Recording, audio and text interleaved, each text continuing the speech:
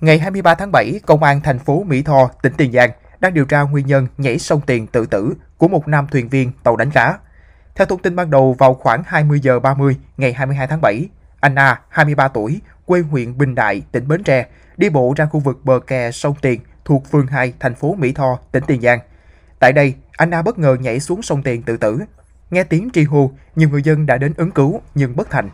Nhận tin báo, Công an phường 2, thành phố Mỹ Tho phối hợp với lực lượng của Phòng Cảnh sát Phòng cháy chữa cháy và Cứu nạn Cứu hộ Công an tỉnh Tiền Giang nhanh chóng đến tìm kiếm thi thể của Anna.